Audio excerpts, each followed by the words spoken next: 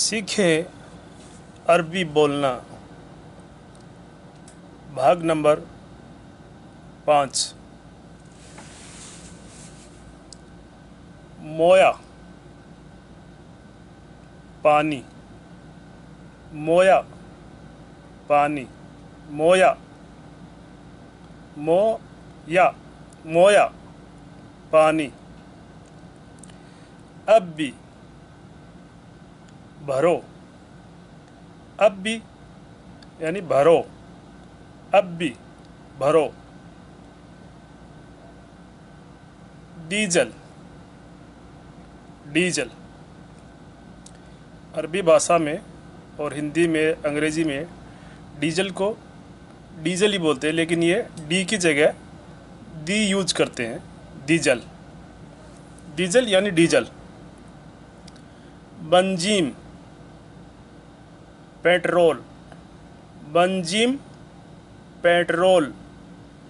बंजीम petrol. बंजीम बंजीम बंजीम पेट्रोल। सवी करो सवी करो सवी करो।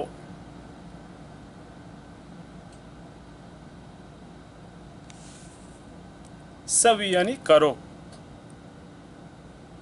कोई काम करो या कुछ भी, करो जहाँ यूज़ होता है, वहाँ पे सभी लगाया जाता है। सभी, डीजल अब भी, ऐसे बोल सकते हैं, सभी डीजल अब भी, यानी डीजल भरो।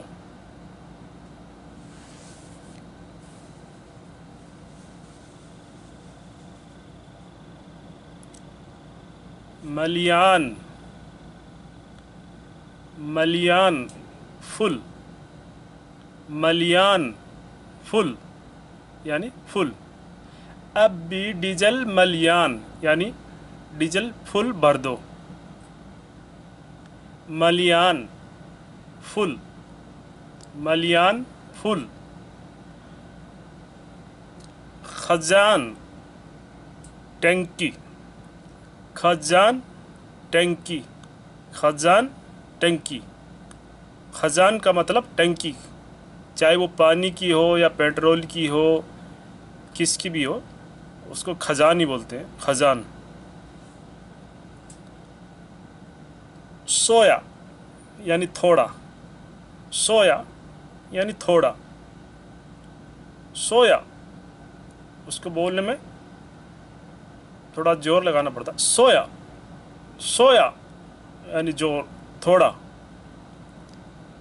नागस, यानी कम है। नागस नागस नागस, यानी थोड़ा है। कोई भी सामान कम हो कि भी एक सामान कम है तो उसको क्या बोलेंगे? अरबी में नागस। अदा नागस अदा मानी यह है अदा नागस यानी बंजीम नागस यानी पेट्रोल कम है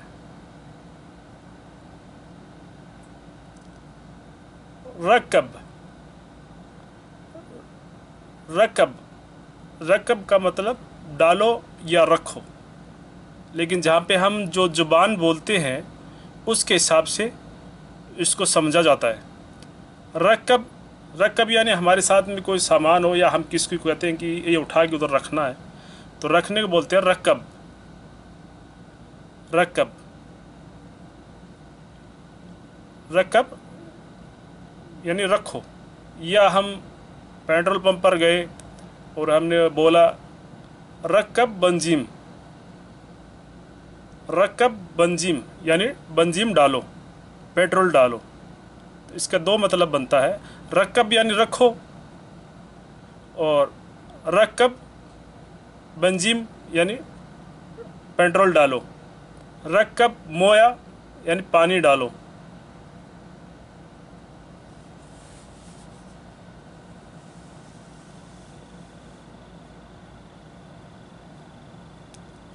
लेई लेई पाइप। प्लास्टिक का पाइप। लेई। लेई यानी प्लास्टिक का पाइप। कोई भी पाइप हो, लेकिन लोहे का, तांबे का, इसका नहीं होना चाहिए। रबड़ का, प्लास्टिक का तो उसको बोलते हैं लेई। लेई।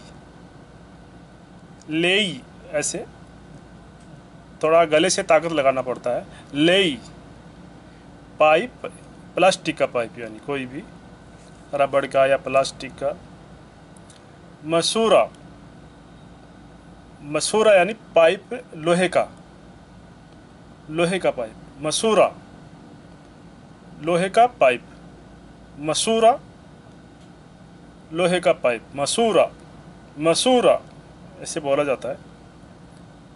शियारा यानी गाड़ी। शियारा गाड़ी। शियारा गाड़ी। शियारा का मतलब ये होता है कि जिस के चार टायर हो तो उसको शियारा ही बोलते हैं। दो टायर को भी बोलते हैं शियारा जिसके टायर हो, उसको शियारा बोलते हैं, यानी गाड़ी। सियारा, गाड़ी। और जैसे छोटी और बड़ी हम बोलेंगे तो सगीर सगीर सियारा, यानी छोटी गाड़ी। कबीर सियारा, बड़ी गाड़ी। कबीर यानी बड़ी। सियारा, गाड़ी। एम सी एम सी एम सी यानी चलो। चलो। एम सी चलो। अगर हम किसी की बाइक पर बैठे हैं तो उसको कहेंगे चलो। या गाड़ी में बैठे हैं किसी के तो हम उसको कहेंगे ड्राइवर को कि चलो तो क्या कहेंगे? एम सी एम सी यानी चलो। या फिर हम साथ में कहीं बैठे हैं और हम किसी को कह रहे हैं कि चलो तो क्या कहेंगे? या अल्लाह एम सी या अल्लाह एम सी या अल्लाह का लफ्ज़ हर लफ्ज़ में यूज़ कर होता है अक्सर करके। रो, या अल्लाह रो, या अल्लाह माफ़ी रो। ऐसे या अल्लाह का यूज़ थोड़ा ज़्यादा होता है इसके अंदर। लेकिन कोई मुश्किल नहीं है, अगर आपको, आप ऐसे ही बोलते बोल सकते हैं एम सी यानी चलो।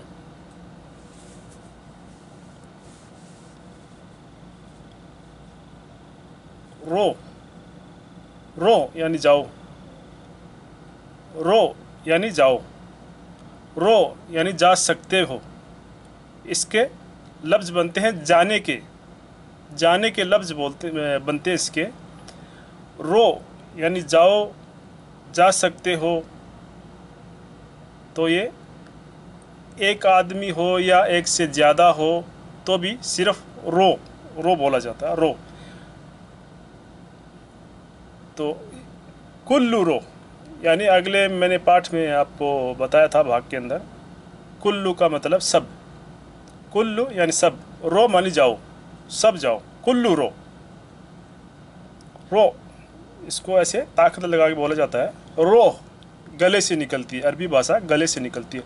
रो, यानी जाओ, जा सकते हो। तरीक तरीक, यानी रोड या रास्ता, इसके दोनों लफ्ज़ बनते हैं। तरीक तरीक तरीक रोड, तरीक, रास्ता। तरीक, रोड, रास्ता, दोनों बनते हैं। कुबरी। कुबरी, यानी पुल, और इंग्लिश में हम कहते हैं ब्रिज। तो ये दोनों लफ्ज़ इसके बनते हैं। कुबरी, यानी पुल। कुबरी पुल। कुबरी रो ताहत, रो का मतलब जाओ और ताहत मानी नीचे, यानी कुबरी के नीचे से जाओ, पुल के नीचे से जाओ। मतलब हो गया कुबरी, रो ताहत, यानी पुल के नीचे से जाओ। तो कुबरी यानी पुल या ब्रिज। नफक नफक होता है जो अंडरग्राउंड रास्ता बनाया हुआ होता है। तो उसको बोलते हैं नफक। नफक यानी अंडरग्राउंड रास्ता। नीचे से ज़मीन से रास्ता बनाया हुआ रहता है। तो उसको बोलते हैं नफक। अंडरग्राउंड रास्ता। और गार। गार यानी गुफा। गार। गार, गुफा। गार, इसको बोलने में गले से निकलती है ये भाषा, अरबी भाषा। गार, यानी गुफा।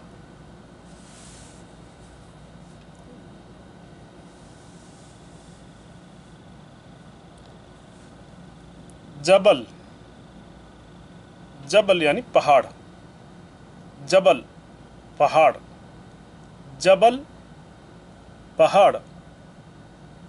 जबल जबल, पहाड़।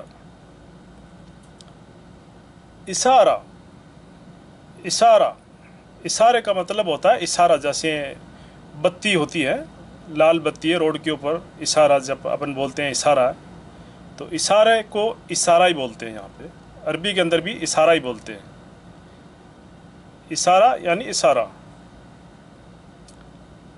दवार।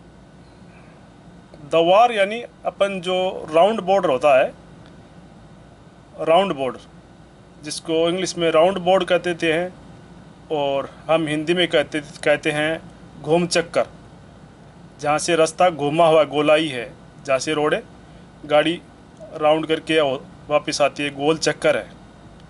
तो उसको बोलते हैं दवार अरबी भाषा में दवार बोलते हैं दवार दवार दवार, घूम चक्कर राउंड बोर्ड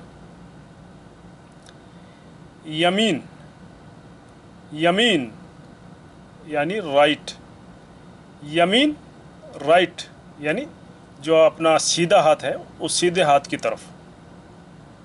राइट यमीन, यानी राइट राइट साइड इशार इशार इशार का मतलब लेफ़्ट साइड, अपना जो उल्टा हाथ है, इधर हो गया left left side.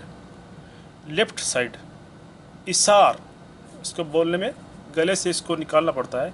इशार इशार, रो, इशार, यानी रो मानी जाओ, इशार, यानी लेफ़्ट लेफ़्ट जाओ।